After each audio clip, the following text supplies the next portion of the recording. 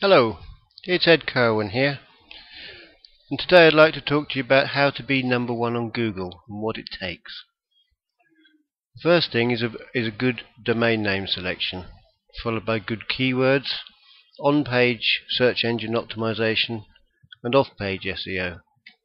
You'll need to adopt several backlinking strategies. These can, can include article writing, press releases, and video marketing for, for example, this could be your ad.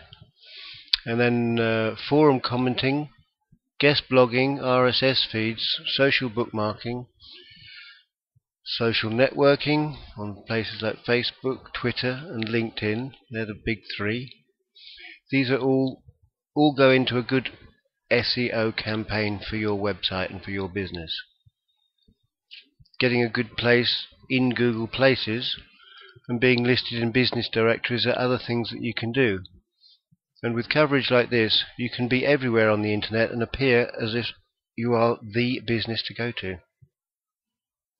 Mobile website optimization is very important these days as the use of mobile devices is on the increase and opens up whole new markets.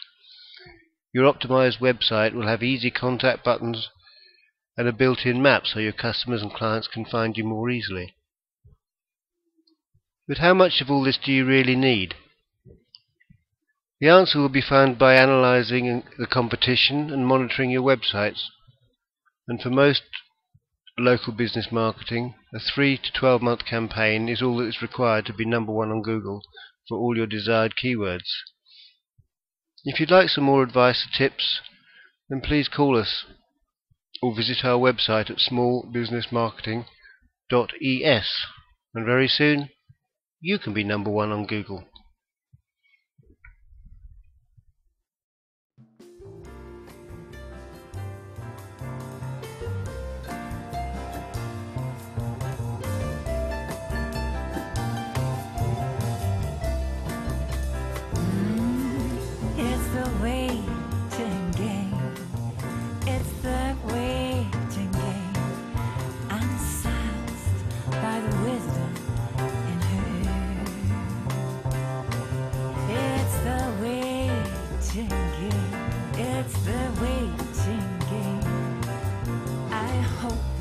love